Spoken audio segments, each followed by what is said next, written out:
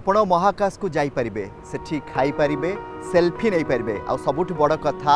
ମହାକାଶରୁ ଆମ ପୃଥିବୀକୁ ଦେଖିପାରିବେ ଆଉ ସବୁଠୁ ଗୁରୁତ୍ୱପୂର୍ଣ୍ଣ କଥା ଏଥିପାଇଁ ଆପଣଙ୍କୁ ଆଉ ମାତ୍ର ଦୁଇ ବର୍ଷ ଅପେକ୍ଷା କରିବା ପାଇଁ ପଡ଼ିବ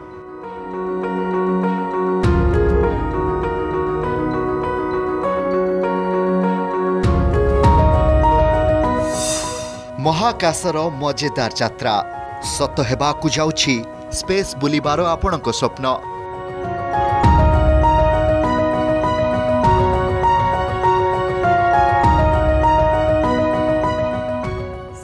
ଆଉ କାହାଣୀର କଥା ସତ ହେବା ପାଇଁ ଯାଉଛି କିନ୍ତୁ ଆପଣଙ୍କ ମନରେ ଏବେ ଏସବୁ ପ୍ରଶ୍ନ ଆସୁଥିବ ଯେ ଆପଣ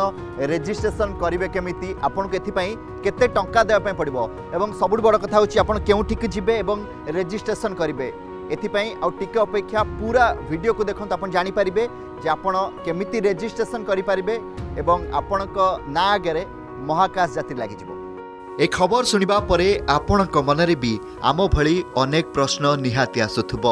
ଆପଣ କେମିତି ମହାକାଶର ଯାତ୍ରା କରିବେ ଟିକେଟ୍ କେମିତି କରିବେ ବା ରେଜିଷ୍ଟ୍ରେସନ୍ କେମିତି କରିବେ କେତେ ଦିନ ଆଗରୁ ଆପଣଙ୍କୁ ଏହା ଜଣାଇବାକୁ ପଡ଼ିବ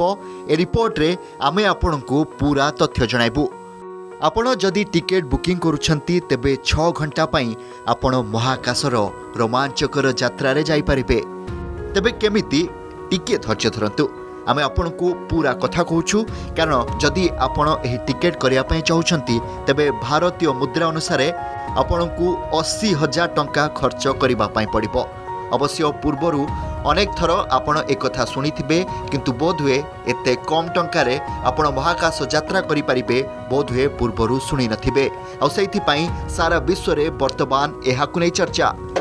তবে আগর মধ্যে আপনার অনেক থর শুনে যে মহাকাশর যাত্রা কথা কিন্তু এথর এত চর্চা কী কারণ দুই হাজার চবিশ যায় টার্গেট দিয়া যাই এবং সবুঠু বড় কথা হচ্ছে এর দাম রয়েছে মাত্র অশি হাজার টাকা যদি মহাকাশর যাত্রা কথা কহা তাকে দেখলে এ টঙ্কা নিহতি ভাবে কম এবং সেইপাই সারা বিশ্বরে বর্তমান এই কথা নিয়ে চহল পড়েছে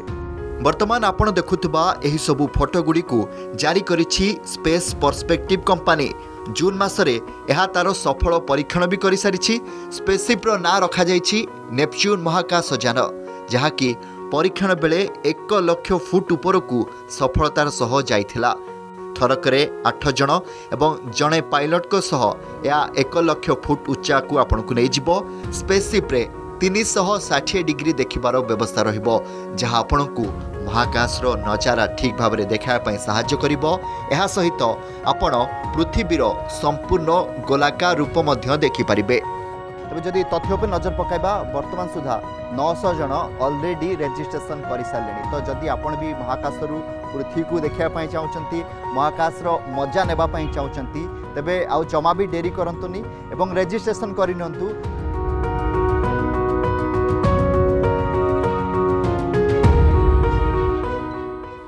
ब्यूरो रिपोर्ट